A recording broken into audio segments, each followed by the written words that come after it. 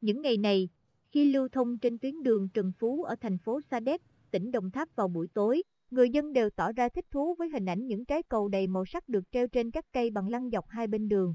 Khoảng 80 cây bằng lăng được treo các quả cầu màu, mỗi cây 6 quả với gần 500 quả cầu đèn LED đơn sắc gồm 5 màu, trắng, vàng, xanh dương, xanh lá và màu hồng.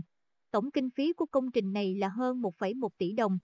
Sự xuất hiện của những trái cầu đèn màu trên những cây xanh đã giúp tăng vẻ đẹp lung linh huyền ảo cho tuyến đường này, tăng thêm sức hút cho thành phố lúc về đêm. Đây là một trong các công trình trang trí phục vụ Festival Hoa Kiển Sa Đéc lần thứ một được tổ chức vào cuối năm nay.